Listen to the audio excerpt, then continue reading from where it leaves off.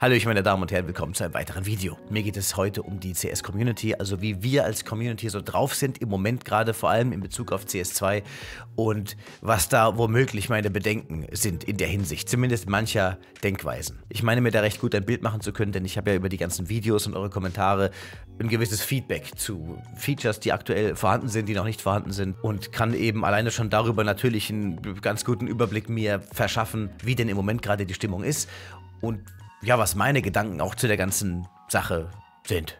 Let's go. Ich schmeiß die Scheiße aus dem Fenster raus! Ich hau ihn weg! Naja, das Die Scheiße! Ich habe bereits eben erwähnt, dass ich alleine schon über die Videos, aber natürlich auch über die Livestreams immer wieder mitbekomme, wie gerade so der Puls der Community schlägt, also was gerade so abgeht, in welche Richtung hätte man gerne was Neues, wie sieht überhaupt die Grundmeinung oder Gesamtmeinung zu CS2 aus und so weiter und so fort. Natürlich habe ich diesbezüglich nicht nur unsere Community im Blick, sondern habe eben auch auf Twitter und Co., auch in gewissen Foren und auch auf äh, Seiten wie 9gag und so weiter eben immer wieder Sachen, äh, die mir auffallen in Bezug auf CS2, wie die Community zu gewissen Sachen eben denkt äh, und oder sich auch verhält. Was mich aber vor allem zu diesem Video bewegt hat, äh, war ein spezieller Kommentar unter einem meiner Videos, den ich so zum Glück nicht so oft lesen muss, aber äh, der eben dennoch ab und an auftaucht. Ich werde den besagten Kommentar jetzt hier gleich einblenden und euch auch mal vorlesen, natürlich auch die Antworten vorlesen, die andere User gebracht haben und am Ende dann ähm, meine geschriebene Antwort vorlesen, aber auch schon live reagieren zu dem, was ich euch halt vom Hauptkommentar so äh, vorlese. Es handelt sich dabei übrigens um mein aktuellstes oder bis gerade eben noch aktuellstes Video, Valves Anti-Cheat Update.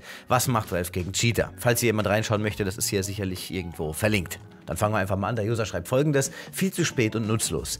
Wie kann man sich nach 20 Jahren Lernen wieder in dieselbe Situation bringen wie zuvor? Immer erst Cheater im Nachhinein bekämpfen ist nutzlos und wird nie enden und nach einer Zeit wird es wieder wie in CSGO werden, dass nichts passiert. Ich gehe davon aus, dass dieses viel zu spät und nutzlos auf die Sache mit den Cheatern äh, gemünzt ist und nicht einfach overall, dass es da um Updates geht, wobei hier auch noch in die Richtung dann auch noch geschossen wird äh, und wie man sich nach 20 Jahren dieselbe Situation bringen kann.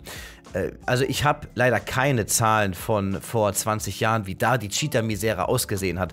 Aber ich kann mir nicht vorstellen, beim besten Willen nicht, dass sie vor 20 Jahren, das äh, war dann noch vor, ja noch weit vor Go, das war während Source, wann, wann ist Source? Äh, ich glaube 2004? Ja, 2004. Also vor 20 Jahren ähm, wurde Source released und ich weiß nicht genau, was damit jetzt überhaupt gemeint ist. Also mit 20 Jahre lernen und wir sind am selben Punkt wie damals, falls damit gemeint ist, dass damals die Cheater im Bulk gebannt werden und das heute immer noch so ist. Also dann weiß dieser jemand nicht, wie man mit Cheatern umgeht. Also es gibt natürlich verschiedenste Herangehensweisen. Es gibt die Möglichkeit, dass man natürlich direkt ähm, auf gewissen Ebenen im PC guckt, läuft da irgendwas, liest da irgendwas äh, aus dem Spiel heraus, was es nicht sollte, okay, zack, bannen. Und noch ganz, ganz viele andere Möglichkeiten. Es gibt aber eben auch einfach schlussendlich den Weg, den auch sehr, sehr viele andere gehen, bei dem man mögliche Cheater taggt, überprüft, sind das welche, feststellt, ja, das sind welche, dann sammelt man Daten, sammelt Daten, sammelt Daten und dann haut man die alle auf einem mit einem Schlag weg. Eine Herangehensweise Stück für Stück, also sobald ich einen Cheater entdecke, banne ich ihn direkt, ist in dem Fall ähnlich dämlich wie bei einer Mordermittlung sofort, sobald man etwas findet, jedes Beweismittel, jedes Indiz und so weiter und so fort herauszuposaunen, weil dann können sich ja die Täter, die das dann mitbekommen, wenn es herausposaunt wird, darauf gefasst machen und sich ready machen, sich da irgendwie rauszuwiggeln und andere Möglichkeiten eben oder andere Wege gehen, um äh, unbestraft davonzukommen. Das ist der Riesennachteil, wenn man einfach sofort, wenn man was gefunden hat, reinbannt. Falls gemeint ist, dass man vor 20 Jahren Cheater-Probleme hatte und heute immer noch Cheater-Probleme hatte, dann kann man als, ich sag mal, klar denkender Mensch nur sagen, dass auch leider in 20 Jahren wahrscheinlich noch Cheater-Probleme vorhanden sein werden, weil man diese Problematik nun mal nicht ein für alle Mal lösen kann. Es ist, es ist nicht möglich. Weil genau wie sich Anti-Cheats weiterentwickeln, sich Cheats nun mal auch halt immer weiterentwickeln. Das ist immer und in jedem Spiel so. Es gibt kein cheatfreies Spiel, es ist immer so. Zu dem Thema Cheater komme ich gleich noch mal etwas genauer, aber ich möchte jetzt hier den, den Text sukzessive mit euch durchgehen. Äh, also ja, ich, ich weiß nicht genau, was hiermit gemeint ist, dass wir jetzt da sind, wo wir vor 20 Jahren gestanden sind und dass in den 20 Jahren nichts gelernt wurde. Wenn ich egal welchen Bereich des Spiels, sei es eben das Anti-Cheat oder die äh, Mechanik des Spiels, also Spielmechanik oder die Engine und so weiter und so fort. Wenn ich irgendwas damit mit vor 20 Jahren vergleiche, sind wir jetzt auf jeden Fall weiter als, als damals. Das war noch die Zeit, als du Speedtag, Longarm und so weiter, äh, also cheatmäßig nutzen konntest. Heutzutage ist es tatsächlich so, das mag vielleicht viele verwundern, dass viele, viele Cheats, die halt früher gingen, einfach äh, nicht mehr gehen. Naja, ich sag dazu, wie gesagt, gleich nochmal was, wir lesen mal weiter. Man hätte CS2 wirklich spielen können und alle haben gehofft, was wir bekommen haben, ist ein 40% Port von CSGO, wo im Grunde der ganze Content fehlt. Zum letzten Punkt, äh, das ist äh, auf jeden Fall ein großes Ja auch von meiner Seite aus. Der Content fehlt, ja. Der gesamte bzw. der Großteil des Contents war am Anfang da, also äh, Danger Zone und so weiter, der ganze Krusch war drin. Es hat sich aber ganz schnell herausgestellt, dass es nicht richtig funktioniert. Man hat diese neue Engine und will eben nicht einfach einen Port machen, also wir nehmen jetzt Go und schieben es dahin und machen eine 2 hinten dran und machen das GO weg, sondern es soll ein richtiges neues Counter-Strike werden auf einer neuen Engine und nicht einfach nur hin und her geschoben. Und sowas kostet nun mal einfach Zeit. Und das ist auch ein großes Jahr von mir in der Hinsicht, dass Valve da einfach mit dem Release reingeschissen hat. Erstens müsste da ganz klipp und klar stehen, das ist die CS2 Beta, die wir die ganze Zeit spielen. Wir sind äh, gezwungene Beta-Tester, die ganze Zeit. Und zweitens hätte man halt einfach warten sollen. Mir hätte es überhaupt nichts ausgemacht. Das habe ich in zig Videos über die letzten paar Jahre geäußert, wenn es einfach erst in zwei, drei oder vier Jahren erschienen wäre. Ich äh, kann warten. Ja, also ich habe eine recht hohe Geduld, sagt man hohe Geduld oder gute Geduld, ich, ich hätte, hätte warten können. Wir hätten, also viele von uns hätten wahrscheinlich warten können. Natürlich hätte es immer noch viele gegeben, die gepinst hätten. Es muss endlich kommen.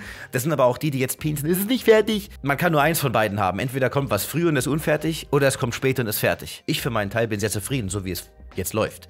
Denn der Vorteil an dieser gezwungenen Beta-Testerei ist, dass wir alle diese Bug-Reports raushauen und dann eben durch äh, gewisse Sprech Sprachrohre wie größere YouTuber, äh, Influencer und so weiter das direkt an Valve weitergeben können. Und es gab viele, viele Updates, die sofort so Schlag auf Schlag nach einem großen Aufschrei nachgereicht wurden. Jetzt nichts mit Left Hand und äh, Pipapo. Das sind wirklich zu spezifische Dinge, die mehr oder weniger in Richtung Content gehen. Und wenn du ein Spiel hast, von dem ja viele behaupten, es ist ja noch gar nicht fertig, dann ähm, dann macht es natürlich am meisten Sinn, das Spiel erst fertig zu machen, bevor man auf einen unfertigen Haufen auch noch Content draufschmeißt. Und da ist eine fette Wanze bei mir auf dem Tisch. Was ist denn hier los? So, hab das Viech weggemacht und komme zurück zum Thema. Was habe ich gerade gesagt? Also es ist auf jeden Fall blöd, so wie es gestartet wurde. Aber jetzt ist es nun mal eben so, wie es ist. Ich lese weiter und sage dazu aber auch gleich noch ein paar Takte. Keine neuen Content wie Maps oder Skins. Eines der schlechtesten Ranking-Systems, die es so und so nicht richtig funktionieren seit gut einem halben Jahr und dazu voll mit Hackern. Ja, äh, gut einem halben Jahr wäre ja dann sechs Monate plus, ein knappes halbes Jahr wäre 5, 5,5 Monate, also einfach nur so vom Sprachverhalten her. Tatsächlich äh, ist CS2 jetzt vier Monate alt, das ist noch nicht ganz ein halbes Jahr. Und auch nicht knappes, würde ich sagen, sondern halt bald ein knappes halbes Jahr. Ich habe tatsächlich ohne Witz schon von Leuten gesagt bekommen, äh, wie kann es sein, dass CS2 nach fast einem Jahr äh, noch nicht fertig ist? Und ich denke, hm, und ich weiß gar nicht, wie ich dann auf sowas. Also, wo nehmen denn die Leute die ganze Zeit auf einmal her? Wo dichten die denn hier diese Zeit dazu? Natürlich sieht eine negative Aussage dann besser aus, wenn man sagt, das ist schon seit 20 Jahren da, aber äh, jetzt mal im Ernst. Also, Leute, es ist seit vier Monaten released. Es wurde am 27. September 23 released. Oktober, November, Dezember, Januar. Wie lange sie insgesamt dran arbeiten, das ist ja wiederum eine ganz andere Geschichte. Auf die Sache mit dem Content werde ich jetzt einfach recht kurz antworten. Nur weil jetzt kein Content da ist, heißt es nicht, dass kein Content mehr kommt. Ich verstehe die Aufregung darüber nicht ganz. Natürlich würde ich mich auch im Sinne von ähm, Content, also YouTube-Content, darüber freuen, wenn was Neues kommt, weil dann kann ich wieder neue Videos dazu machen. Gerade bei einer Operation ist mega geil, darüber halt Videos zu machen. Aber ich würde mir nie im Leben ähm, denken oder einreden, dass es ist jetzt kein Content da, also kommt kein Content mehr. Das war es jetzt. Um nochmal auf den Anfang des Kommentars anzuknüpfen, viel zu spät. Weil daran dachte ich zuerst. So, hä, viel zu spät, was viel zu spät? Vor allem, was heißt denn zu spät? Also bezüglich der Spielerzahlen, weil, weil jetzt irgendwie Counter-Strike tot ist oder was? Ich habe jetzt hier mal geschwind diese Steam-Charts geöffnet und mal in, in, in die Charts reingeguckt. Das ist jetzt natürlich von CS2, aber logischerweise von Go. Ne? CS2 kam ja dann erst hier in diesem Bereich. Das hier unten ist alles Go. Und wenn du jetzt zum Beispiel mal ähm, ja, einfach, einfach die Spielerzahlen an sich anguckst. Ne? Hier hast du die Average Player, die das Spiel eben spielen. Und ein bisschen zurückgehst, dann siehst du ja 2016, 2015, da waren es so 300k. So im Schnitt. 300 bis 400k. Dann sind sie ja langsam ein bisschen gefallen. Man hat immer, immer wieder starke Drops und dann auch wieder ein Gain. Und overall natürlich, das siehst du hier oben ja auch in der, in der ähm, in der Grafik, dass du overall einen Gain hast. Auch mit Drops. Hier ist ein Drop, hier ist ein Drop, da ist ein Drop, hier geht's runter, da ist ein Drop, da ist ein Drop, hier ist ein Drop. Aber overall siehst du, es geht aufwärts. Und auch in den Zahlen sieht man das. Wo 2015 noch, ich sag mal, 350.000 Leute gespielt haben, hast du 2018, äh, na, immer noch so wenig, aber 2019 dann langsam mal die 400.000 guck, guck, mal, was das für eine Jahresspanne ist, wie lange es gedauert hat, bis es dann mal so viele waren. 2020 500.000, dann 700, 800, 600, 700, 500. Sagen einfach mal auch im Schnitt wahrscheinlich, keine Ahnung, 500 oder so. Äh, hier immer noch so im Schnitt 500. Und dann kam 2023. Da hat man sich dann gesagt, oh, da kommt wahrscheinlich CS2. Und du siehst, wie es ansteigt. Von seinen davor 500 bis 600.000 bis 23 auf 800, 900, über eine Million. Viele stellen hier fest, warte mal, ich habe gar keinen Beta-Zugang, ich gehe wieder. Und verpieseln sich. Und zack, hier haben wieder einige Zugang bekommen, also werden es hier wieder mehr. Jeder ist hyped. Oh, vielleicht habe ich einen, ich muss reingucken. Dann kommt im Oktober der Release. Und gleichzeitig die Feststellung, hm, da ist aber noch nicht viel drin. Ich gehe mal wieder. November immer noch nicht viel drin. Ich gehe mal wieder. Dezember, ja, guck mal da. Ich weiß nicht genau, wann Wingman hinzugefügt wurde, wahrscheinlich in dem Bereich hier. Und äh, die letzten 30 Tage siehst du 772.000, beziehungsweise jetzt hier vor, vor 10 Minuten 804.000. Wenn du zurückgehst und guckst, wie weit sind wir denn jetzt zurückgefallen äh, auf, auf einen Average 700.000 oder 800.000, ähm, dann, dann, du hast hier mal einen kleinen Peak drin. Aber so overall hast du das tatsächlich äh, in diesem gesamten Bereich, na gut, hier unten ein bisschen, aber hier nicht. Also erst seit 23 überhaupt äh, sind so viele Leute in Counter-Strike unterwegs. Seit 2023. Januar 23 726.000, ein Jahr später 772.000. Prognose ansteigend, so wie es aussieht zumindest, von den Zahlen her. Und was glaubt ihr, wie diese Zahlen aussehen, wenn das Major kommt, wenn neue Maps hinzukommen, wenn neue Modi hinzukommen? Es ist ja nicht so, dass, dass die Devs sich hinhocken und sagen, so, wir sind jetzt extra auf eine komplett neue Engine umgestiegen, die uns so unglaublich viele Möglichkeiten gibt, das Spiel auf so viele Arten und Weisen zu verbessern, wovon wir mitunter auch schon vieles geteasert haben, in offiziellen Trailern. Aber wir machen nichts.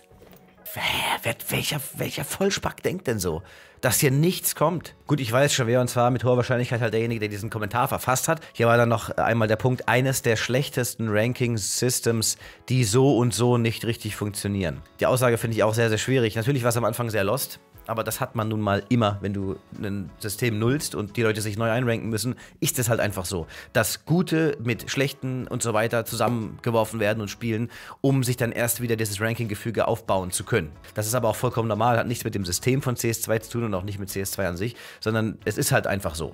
Wenn du komplett nullst, spielen Silver mit Global-Leuten, kurz und knapp gesagt, halt einfach zusammen und dann muss ich das langsam auseinanderdröseln. Sowas kann eine sehr lange Zeit dauern, vor allem wenn man nicht oft spielt. Über meine Community erhalte ich diesbezüglich hauptsächlich gutes äh, Feedback. Natürlich gibt es gab es vor allem auch viele, die am Anfang halt gemeckert haben, aus dem eben genannten Grund, es war halt einfach wild. Dann gab es auch immer wieder Anpassungen. Man hat gemerkt, sie arbeiten noch an dem Ranking-System.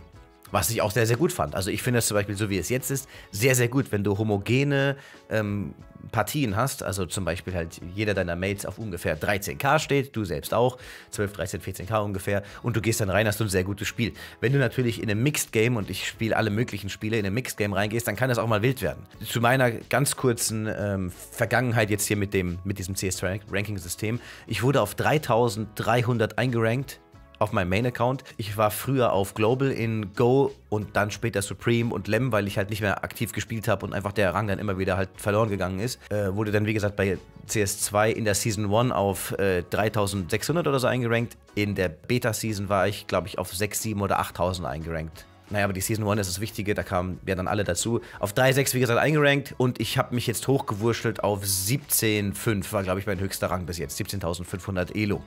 Und dieser gesamte Weg hat sich für mich und ich hoffe auch für meine Leute sehr gut angefühlt. Also ich mache das ja immer in den Streams, ich spiele mit euch dreimal die Woche, jeden Dienstag und Donnerstag ab 18 Uhr, jeden Freitag ab 20 Uhr auf Twitch Counter-Strike. Und meistens 6, 7, 8 Spiele pro Tag oder halt pro Abend. Und das auf jeder Elo. Also High Elo, unser High-Bereich geht in Elo, was ist unser höchster Spieler? 23.000, 22.000 ähm, und, und es geht bis ganz runter Low Elo auf 1, 2, 3.000 Elo. Ich bewege mich also mehrmals die Woche auf der gesamten Elo-Verteilung, überall mal mit homogenen High, Mid und Low Games und dann auch noch mit Mixed Games, die wir tatsächlich im Moment sogar am meisten machen, weil wir gerade so stark wachsen, ist es einfacher für mich zu sagen, ähm, nach den High, Mid und Low Games, jetzt mache ich Mixed Games, es kommen die rein, die einfach noch nicht gespielt haben und der Rang ist egal. Und dann haben wir halt einfach mal einen 18.000er, einen 17.000er und dann äh, zwei 8.000er und einen, der auf 12 steht oder so. Und dann hat man halt mal wilde Games und mal nicht, aber da würde ich halt von vornherein sagen, das ist halt auch eine sehr schwierige Ausgangsdingsigung, ähm, ne? Wenn ich so eine komplett zusammengemischte Lobby habe, kann ich nicht erwarten, dass meine gegenüberstehende Lobby exakt eine 1 zu 1 Abbildung von meiner ist. Und trotzdem sind unsere Spiele deutlich, deutlich ausgeglichener als, als noch bei Go. Also bei Go war es viel öfter so, dass wir halt mal diese zu Null Niederlagen oder Wins hatten. Also viel öfter als jetzt bei CS2. Da sind die natürlich auch noch vorhanden, aber viel, viel seltener. Oftmals sehen die Lobbys am Anfang voll wild aus und dann ist es trotzdem ein 13-9 oder 13-10 oder, oder irgendwas äh, noch mit einer kleinen Verlängerung und dann noch auf Unentschieden oder so. Das passiert sehr, sehr oft. Also was ich mir die letzten zwei, drei, vier Monate anhören durfte im Stream, war recht oft, dass die Leute, die bei uns so das erste Mal halt da sind oder die ersten paar Male da sind, dass sie noch nie so viele Overtimes erlebt haben. Wir spielen extrem oft auf Overtime und verkacken dann in der Overtime oder gewinnen manchmal auch. Also es ist äh, ne, Geben und Nehmen. Aber ähm, von unserer Seite oder von meiner Seite aus und, und ich behaupte, dass ich da halt einen recht guten Blick drauf habe, weil ich so viele Spiele auf so vielen Elen, Plural von Elo, und mit so vielen verschiedenen Leuten spiele, dass mein Blick da halt so ein bisschen geweiteter ist wie der normale Spieler, der in seinem Bereich sitzt und da feststeckt. Weil ich überall spiele, mit allen Leuten. Und aus meiner Sicht ist das Ranking-System ein sehr gutes. Mir macht es extrem viel Spaß. Ich habe noch nie so gerne Counter-Strike gespielt wie jetzt in CS2, weil ich so gerne auf diesen Rang spiele. Wir haben eine Weile Faceit gespielt und eine sehr lange Zeit E-Sportal gespielt und das hat mich schon immer sehr ähm, angetrieben, auf diese Elo zu gehen, also auf diese Punkte. Ich fand das bei Go vor allem, als der Global erreicht war, langweilig, weil ich, man hat nur diese komischen Bilder und man hat, es, ist, es war so ähm, uneinsichtig. Es war extrem nebulös, das Ranking-System damals und auch die Anzeige. Also du wusstest nicht, wo du stehst, wie, wie viel darf ich jetzt noch verlieren, bis ich downranke? Stehe ich kurz vom Uprank, ich gewinne und kriege einen Downrank her, was ist passiert? Das ist alles seit CS2 weg, weil du genau siehst, was du wie bekommst oder verlierst. Und meistens kannst du es dir dann, zumindest wenn du dann nach der ersten Aufregung mal genau drüber nachdenkst, auch erklären, woran es wohl liegt. An der Lose-Streak, an der Win-Streak, daran, dass vielleicht dein Team deutlich höher gerankt ist als das andere oder umgekehrt und so weiter und so fort. Meistens kann man sich irgendwie erklären, warum dann auch äh, ich jetzt für dieses Spiel 300 plus und äh, 100 nur minus bekomme oder umgekehrt. Also ich und ein großer Teil meiner Community und sicherlich auch noch andere, finden das System gar nicht so übel. Was ich hier übrigens noch einwerfen möchte, was ich direkt am Anfang machen wollte, aber vergessen habe, ist, dass solche Aussagen an sich aber auch gar nicht schlimm sind. Hat ein schlechtes Ranking-System zum Beispiel. Ähm, aber es ist falsch zu sagen, CS2 hat das schlechteste Ranking-System. Sondern äh, man muss in dem Fall, weil jeder halt andere Erfahrungen macht, eigentlich sollte man immer dazu sagen, aus meiner Sicht oder für mich ist das Ranking-System in CS2 sehr schlecht oder das schlechteste überhaupt. Äh, ich habe noch ein paar andere Kommentare, die ich jetzt nicht raussuchen möchte, wo die Leute halt schreiben, das Spiel ist unspielbar. In jeder Lobby sind 300 Cheater. Immer. Also Fakt, Punkt. Dabei muss man eigentlich schreiben, das Spiel ist für mich leider unspielbar.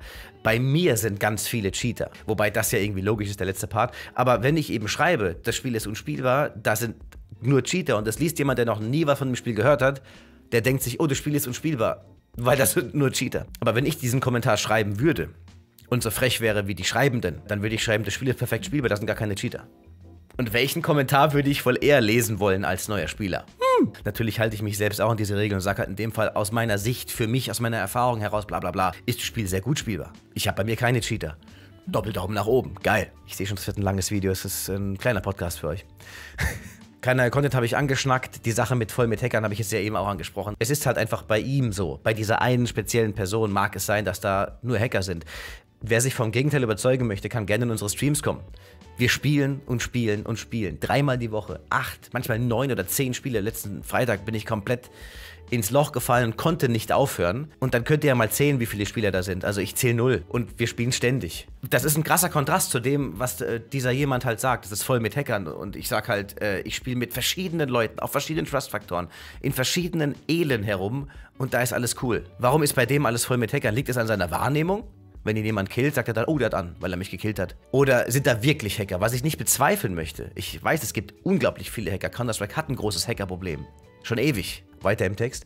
Jeder, der denkt, dass es besser wird, sollte aufwachen. Hört auf, das Spiel zu spielen. Es sind gute 30% gegangen. Ihr seid nicht alleine. Verkauft eure Skins, investiert nichts mehr ins Spiel, sucht euch andere Games, es gibt genug Alternativen. Ja, also direkt zum, um zum letzten Punkt zu kommen, es gibt genug Alternativen, ist Quatsch, es gibt keine Alternative zu Counter-Strike. Es gibt nur Counter-Strike.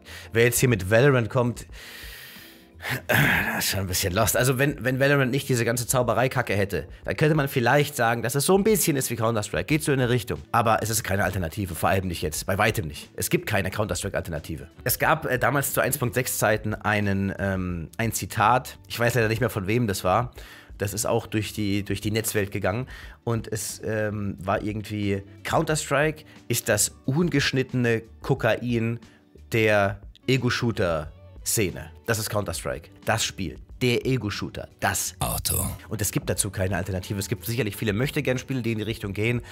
Aber sowas wie Counter-Strike, äh, das seit über 20 Jahren reinballert, kannst du nicht so einfach so, so von der Seite angelaufen kommen, hallo, hallo, hallo, ich habe auch Waffen in meinem Spiel. Um jetzt hier nicht komplett auszuschweifen, weil ich sehe schon, ich bin bei 40 Minuten Aufnahmezeit, ähm, gehen wir einfach noch kurz die anderen Kommentare durch und dann schaue ich, wie ich das hier äh, am besten beende. Hier kommt dann User 2 mit folgendem Kommentar. Leider muss ich sagen, dass du keine Ahnung hast von dem, was du schreibst.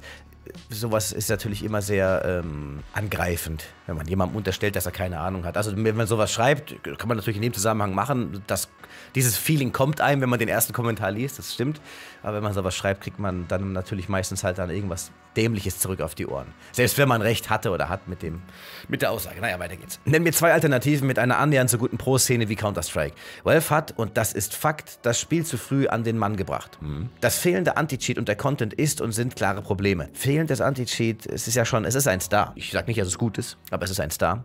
Und wenn man dann wiederum den Trust-Faktor damit reinzählt, ich weiß, Trust-Faktor ist kein Anti-Cheat, was aber auch gleichzeitig ja das, das Geile ist, denn es ist ein vom Anti-Cheat-unabhängiges System, das dafür sorgt, dass du nicht mit Cheatern connecten musst oder gegen die spielst. Deswegen, das würde ich jetzt nicht ganz sagen. Es ist ein Anti-Cheat da, ganz einfach. Es fehlt keins, es ist ein Star. Gut ist es nicht, ja. Und der Content fehlt und das sind Probleme. Ist auch richtig. Allerdings wird stetig etwas am Spiel geändert. Große Updates, eventuell sogar Operationen und endlich gutes Anti-Cheat angekündigt, wenn auch nur geleakt. Updates werden kommen, Content wird dazukommen. CSGO war am Anfang ein brennender, stinkender Haufen Müll von dem auch so viele behauptet haben, auch die Profis und so weiter, das ist der letzte Counter-Strike-Teil. Source war das letzte gute, kommen Sie mal ehrlich, eigentlich 1.6 und, ähm, und, und Go kannst du in die Tonne kicken. Das ist Trash. Und wie stand Go am Ende da nach über 10 Jahren? Sehr solide, würde ich behaupten. Ne? Und wir sind jetzt hier bei vier Monaten. Vier. Ich weiß nicht genau, wann die ersten großen Updates bei Go kamen. Ich weiß aber, dass halt sowas wie Wingman zum Beispiel erst Jahre später dazu kam. Oder Flying Scoutsman erst nach Jahren dazu kam. Wobei das ein verschissener Modus ist, aber egal. Oder auch Danger Zone. Das kam erst viele, viele Jahre nach Release überhaupt dazu. Das ist natürlich keine Entschuldigung, dass jetzt noch nicht da ist. Die Erklärung, warum es noch nicht da ist, habe ich geliefert. Weil es nicht funktioniert hat und einfach gut werden soll. Ich denke, das will jeder von uns eigentlich tief in unserem Herzen. Wollen wir nicht, dass der Modus jetzt sofort da ist und wir wollen, dass er irgendwann kommt und gut ist. Wer will jetzt sofort einen kaputten Modus, wenn er später dann geilen haben kann? Hm. Die Sache mit dem Anti-Cheat ist äh, sicherlich schwierig, weil, wie gesagt, in der Hinsicht wird es nie großartige Nachrichten geben. Selbst wenn Valve das beste Anti-Cheat der Welt im Hintergrund laufen lassen würde oder äh, an den Start bringen würde, würden da keine großen Updates in die Richtung kommen, weil es nicht gut ist, sowas zu publishen. Die Cheater sollen gar nicht wissen, wogegen sie zu kämpfen haben. Die sollen nur merken, dass sie gefistet werden, mehr nicht. Lesen wir mal weiter. Es ist immer leichter, mit der Masse zu gehen und einfach das zu copy-pasten, was andere sagen. Setz dich mal 10 Minuten hin und beschäftige dich richtig mit dem Spiel und der Materie darum. Es ist, wie Pascha Biceps gesagt hat, es ist nicht zu spät, CS2 zum besten Spiel aller Zeiten zu machen. Punkt aus, äh, das ist äh, vollkommen richtig, ja. Auch hier nochmal, um zu spät aufzugreifen, es kann nie im Leben nach vier Monaten zu spät sein. Also, wenn, ich sag mal, das Spiel, so wie es jetzt ist, einfach noch vier Jahre weiter so stehen bleiben würde, dann würde ich sagen, hm. Aber alleine schon anhand der ersten Update-Wellen der letzten paar Monate, gigabyteweise wurde, wurden Fixes nachgereicht und hinterhergedrückt. Es wurde so krass daran gearbeitet, dass, dass äh, das Spiel einfach in seinen, in seinen Grundfesten gut dasteht. Alleine wenn man das betrachtet, erkennt man doch, dass da Aufwand betrieben wird und, und Passion dahinter steckt dass da was passiert. Das ist ja nicht so, dass gar nichts passiert. Sind euch mal die letzten paar Updates abgefallen? Gerade heute am 29.01. Ich mache Steam an und sehe wieder 400 irgendwas. Ein 400 Megabyte großes Update wurde einfach mal wieder hochgeladen, ohne eine Update-News dazu. Die letzten zweieinhalb bis drei Wochen wurden gigabyteweise Updates hochgeladen, ohne Dokumentation. Was passiert da wohl? Man weiß es nicht. Vielleicht sind da einfach nur die im Hintergrund gedrückt werden. Aber man erkennt auch ganz klar, dass da was gemacht wird. Also User 2, sehr schöner Kommentar. Ich habe das Video von Pascha Biceps nicht gesehen,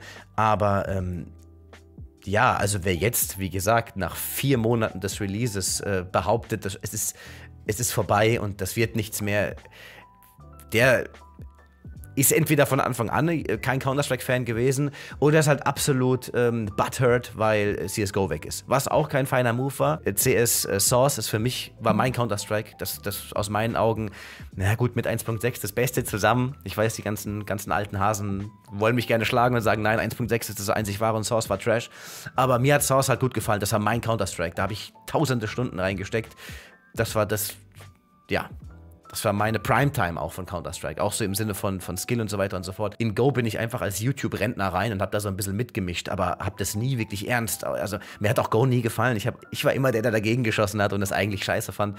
Äh, du kommst rein, hast irgendwelche bunten äh, Waffen. Da fuck, sind wir hier in Barbie oder was. Also das waren so die ersten... Ähm, die ersten Gedanken. Und sicherlich hatte ich damals auch, gerade weil ähm, mich auch gestört hat, dass wegen Go halt Source in der Beliebtheit oder halt vielmehr in der Bespieltheit gesunken ist, äh, war ich ja natürlich auch eine Weile butthurt und habe gesagt, ja, Go, Scheißdreck, da, das, das wird nichts. Ne? Und da war ich nicht der Einzige. Aber du wusstest eigentlich genau, wenn du so ein bisschen reflektiert hast, dass man halt einfach nur stinkig ist, dass was Neues da ist, dass das Alte überdeckt. Muss man sich eingestehen. Aber ja, fast 50 Minuten Aufnahmezeit, äh, schnell weiter. Wobei ich sehe gerade, hier fehlt ein Kommentar von User 1, der den ersten Krustel geschrieben hat. Antworten 6. 1, 2, 3, 4, 5. Hm, das, das, wird mir nicht angezeigt. Hat er das gelöscht oder was? War ihm vielleicht peinlich. Ich gehe einfach nochmal kurz über meinen Videomanager dahin. Vielleicht sehe ich hier den Kommentar. Ha, das ist jetzt schade, weil das war dämlich. Also so aus dem Gedächtnis heraus hat er dann, also User 1, folgendes äh, auf User 2 geschrieben. Du hast keine Ahnung äh, mit deinen 20 Jahren, ich bin 37 Jahre und kenne mich mit IT und mit den Profis aus. Ich habe früher mit den Profis zusammen äh, geredet und die finden, ach gut, was haben die. Es war so ein Moment, wo du dir denkst, oh Gott, okay. Was richtig peinlich wurde, das wahrscheinlich ist deswegen gelöscht. Oder aber es wird mir nicht angezeigt, weil ich sehe immer noch hier sechs Antworten. Ich sehe aber nur fünf. Er hat dann praktisch User 2 halt angepimmelt und er ist ja schon so alt und hat, hat die Weisheit mit dem Löffel gefressen. Ähm, und User 2 hätte keine Ahnung, aber er, User 1, hat ganz viel Ahnung und das ist so, weil es so ist. Äh, dann kommt User 3 dazu und schreibt, nein, es gibt keine guten Alternativen. Die einzige wirkliche Alternative im CS-Stil ist Valorant. CS2 ist im Prinzip sehr gut. Ich finde das Gunplay etc. wesentlich besser als in Go, nur eben fehlt der Content, welcher überarbeitet noch erscheinen wird. Die Spielerzahlen sind sehr ähnlich, wie sie in Go waren, vor der CS2-Ankündigung, also keine Ahnung, wovon du redest. Lass die Leute spielen, was sie wollen. CS2 hat noch einen langen Weg vor sich, um perfekt zu sein, aber es ist noch sehr weit entfernt, um ein schlechtes Spiel zu sein. Hier liest man heraus, dass hier einfach jemand äh, kommentiert, der auch wirklich ein Hirn hat, so wie auch User 2, der sich tatsächlich auch mal damit halt auseinandergesetzt hat und darüber nachgedacht hat, vielleicht auch mal in die Richtung, ähm, wie, wie werden Spiele entwickelt, wie ist es in der Vergangenheit so gelaufen, was hat Valve in der Vergangenheit so gemacht und so weiter und so fort. Daraufhin kommt User 4, und schreibt, bevor Counter-Strike stirbt, muss es einen richtigen Konkurrenten geben. Valorant und CS sind einfach zu unterschiedlich. Finde ich auch vollkommen richtig. Wobei ich auch nicht zwingend sage, dass es, ähm, dass der Konkurrent ist, der großartig fehlt. Man müsste wirklich auch noch große Fehler in Counter-Strike selbst begehen, um auszusterben. Darauf antwortet dann wieder User 2. Sehr richtig, gutes Zusammenfassung, mein Lieber. Gute wahrscheinlich. Und alleine hier merkt man natürlich, dass man hier schon drei oder ich sag mal zwei Leute hat, die, äh, die auf so einen Dödel kommen. Was aber trotzdem ein krasses Verhältnis wäre, dass auf zwei normale CS-Fans dann äh, ein so ein Dödel kommt, der komplett reinscheißt. Aber naja, darauf folgt dann äh, noch meine Antwort und jetzt hier nicht wundern mit den 37 Jahren, das war halt in seinem Kommentar gestanden, der scheinbar gelöscht ist oder mir halt einfach ums Verrecken nicht angezeigt wird. Ihr könnt ja selbst nachgucken, dann seht ihr auch, wer kommentiert hat halt. Mein Kommentar liest sich wie folgt. Dein Ansatz wirkt sehr kurzsichtig, man merkt dir deine 37 Jahre nicht an. Ja, da habe ich ähnlich gestartet wie ähm, der zweite User. Leider muss ich sagen, dass du keine Ahnung hast. Es geht so ein bisschen in die Richtung. Ich konnte es dann doch nicht lassen, weil gerade der zweite Kommentar so absolut dämlich war, dass ich einfach anmerken musste, dass man diese 37 Jahre beim besten Willen nicht anmerkt. Weiter mit meinem Kommentar. Jeder neue CS-Release hat in einem guten Teil der Community exakt dieselbe Reaktion ausgelöst. Der neue Teil ist kacke, es fehlt ein gescheites Anti-Cheat, CS wird mit genau diesem Teil aussterben, hört lieber direkt auf und spielt lieber was anderes und so weiter und so fort. Da ich halt schon ein alter Bock bin, so wie er eigentlich auch einer sein sollte mit 37 Jahren, habe ich halt einfach mitbekommen, wie es äh, von 1.6 auf Source gelaufen ist, wie es von Source auf Go gelaufen ist und wie es jetzt eben auch auf CS2 halt hinausläuft. Und es ist exakt dasselbe Pattern die ganze Zeit. Das erste Mal habe ich das beim Release von Source zu Ohren bekommen. Bei Go war es genauso und jetzt sind wir, wo wir eben sind. Valve hat vor allem mit ihrem Produkt CS noch nie nicht abgeliefert. Schau dir an, wie die Bekanntheit von Teil zu Teil größer geworden ist. Zu meiner Anfangszeit, Ende 1.6 Start Source 2000, 2001, 2002 und so weiter, kannten das Spiel bereits sehr viele. Es wurde aber nur von einem sehr kleinen Teil meines Freunden- und Bekanntenkreises gespielt. Auch meine Kumpels aus der Schule waren da also nicht investiert großartig. Das waren zwei, die das mit mir zusammen gespielt haben, der Rest nicht. Bereits zu Go hat gefühlt jeder und seine Mutter gezockt und mit CS2 ist nochmal ein dicker Haufen dazugekommen. Als Go wirklich richtig on, on point war, äh, das war mitten in meiner Studienzeit und da hat jeder, also zumindest jeder männliche Kommilitone, Go gespielt und es gekannt und hat, wie ist dein Rank gefragt und wie ist deiner und hat, dann haben sie von Skins erzählt und bla bla bla. Es ist also einfach seitdem mehr oder weniger in aller Munde. Die, die dem Spiel im Moment den Rücken kehren, kommen sowieso wieder zurück, so wie immer eben. CS ist kein Spiel, das ausstirbt. Es ist ein Spiel, das man halt mal deinstalliert, wenn man schlechte Runden hatte, das Anti-Cheaten nicht mag oder mit dem aktuellen Content nicht zufrieden ist. Doch am Ende kommen sie immer wieder zurück. Das sind eben auch Insights, die ich über meinen Beruf, also über meine Community und so weiter sammeln konnte. Ich könnte jetzt tatsächlich keinen einzigen User aufzählen, der mit Counter-Strike komplett aufgehört hat und nicht irgendwann wiedergekommen ist. Manche haben tatsächlich ein, zwei, drei Jahre einfach aufgehört und sind dann auf einmal zu CS2 wieder da, ich guck mal rein, wie es so ist und so weiter und so fort. Und selbst wenn man dann wieder geht, weil zu wenig Content da ist, kommen die ja sowieso wieder wieder, wenn dann Content da ist. Weiter im Text, mich stört diese Sturheit und Unfähigkeit zu normalen Denkvorgängen in manchen Köpfen. Was nicht da ist, wird nie kommen, also weg von hier. Das ist einfach dämlich. Go hatte anfangs auch keinen, beziehungsweise kaum Content und am Ende dann einen fetten Haufen. Wer ernsthaft glaubt, dass CS2 gerade mit der neuen Engine, mit der man so extrem viel und vor allem viel Neues machen kann, für immer keinen Content mehr nachliefert, dem ist einfach nicht mehr zu helfen. Also eigentlich hat mein letzter Kommentar bereits alles gesagt. Updates werden kommen, es wird Content kommen, der ganze Crew passiert. Wer im vollen Ernst glaubt, dass die Devs sich sagen, ja, geil Mann, Premiere, Competitive Wingman, so lassen wir's, der ist halt wirklich, wirklich, wirklich, wirklich ich kann es nicht beschreiben. Es ist einfach, es ist irgendwie dumm. So wie wenn du von einem neuen Spiel hörst, das entwickelt wird, was weiß ich, äh, Halo 12, und du hörst am Anfang der Entwicklung, dass da was passiert. Und, und guckst dir dann vielleicht, weil du Insights hast, genau an, was bis jetzt fertig ist. Und du siehst, dass fünf Artworks und ein paar Zeilen Code fertig sind. Und dann bricht für dich die Welt zusammen, weil du sagst, oh nein, das Spiel ist ja, ist ja gar nicht fertig. Scheiße. Das kommt ja dann. Es ist wieder fertig gemacht. Ja, ich wollte das einfach mal ausspeichern, weil solche Kommentare halt immer mal wieder tatsächlich äh, eingebaut sind zwischen den normalen Kommentaren. Du hast ab und an Sachen, ich lese dir auch manchmal im Stream vor, weil manche schreiben echt so, als hätten sie mehrere Bretter, nee, einen ganzen, einen ganzen Obi-Handel einfach vor ihrer, vor ihrem Kopf. Also ab, ab und an ist es Wahnsinn, wirklich komplett Wahnsinn, was Leute schreiben. Und manchmal äh, ein bisschen weniger Wahnsinn, so wie das, was ich jetzt eben gezeigt habe, dieser Initialkommentar, der halt einfach einen enttäuschten User schreibt, der aber scheinbar äh, die, den Bezug zur Realität verloren hat und nicht weiß, dass sowas halt weitergeht und nicht einfach eine, eine, bei dieser Standbildaufnahme bleibt. Und so war es jetzt, so, das war, ne, zack, also, Abschließende Worte von mir äh, an die Community. Wenn du jemand bist, der sich sehr darüber beschwert oder sehr aufregt, dass er gegen Cheater spielt, Vielen lieben Dank für den Einkauf bei Holy, Alter. OBS haut mir immer den Sound raus und ich sehe den Alert auch. Für euch wird der nicht aufgenommen. Ähm, ja, es ist sehr, sehr einfach, sich bei dieser Cheater-Problematik zu beschweren und zu sagen, scheiß Anti-Cheat, bäh. Die wenigsten, die sich darüber aufregen, fragen sich aber, hm, warum regen sich eigentlich nicht alle darüber auf? Beziehungsweise vielleicht glauben sie das, weil sie sich natürlich auch in der Aufrege-Bubble befinden. Das heißt, jeder, den sie so mitkriegen, regt sich ja auch auf und man hört eh ungern andere Stimmen, deswegen werden die direkt ausgecancelt, so wie dieses Video hier für die meisten wahrscheinlich, äh, die sich darüber aufregen, weil man das gar nicht hören will, von wegen, äh, wie, das sind keine Cheater. Äh. Sobald ich in der Lage wäre und ich würde hören, warte mal, andere Leute haben keine Cheater oder ganz wenige nur, wie kann das sein und wie komme ich dahin? Das wären meine Gedanken. Und in der Hinsicht äh, gibt es einen Begriff, Trust Factor. Damit könnt ihr steuern, gegen wie viel Cheater ihr kämpft. Und euren Trust Factor könnt ihr beeinflussen. Natürlich, logischerweise. Dazu gibt es viele, viele Videos. Ich habe selbst auch ein, zwei, drei Videos, glaube ich, gemacht, wie man den Trust Factor verbessern kann, wie der Trust Factor funktioniert und so weiter und so fort. Das, das kann man sich ja alles angucken. Einfach Trust Factor, der Dummbabler bei YouTube und mal äh, durchgucken. Das ist also eine Problematik, die äh, zwar natürlich von Valve angegangen werden muss. Ich will hier auf gar keinen Fall irgendwie äh, hier Opfershaming oder wie das heißt machen, von wegen ihr seid auch selbst schuld. Es gibt Spiele, da gibt es weniger Cheater und es gibt Spiele, da gibt es sehr viele Cheater.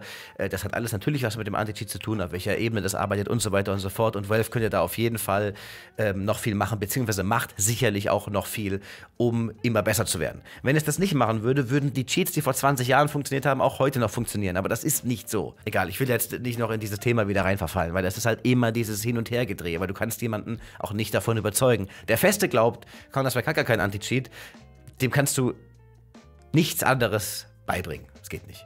Deswegen lassen wir das Thema jetzt auch direkt wieder. Ich gebe euch hier nur einen Tipp an die Hand. Guck mal mit dem Trust-Faktor, ob ihr da nicht vielleicht was machen könnt.